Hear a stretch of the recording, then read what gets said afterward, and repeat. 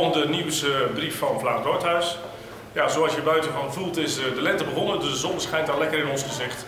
En daar horen eigenlijk mooie producten bij die je van het weekend misschien al lekker buiten op het terras of, uh, of bij de barbecue misschien wel uh, kan gebruiken. Zoals breekpavés, focaccia's of anders onze mooie lemon shortcake. Mooi, frisse tinten bij straks een mooi zonnetje.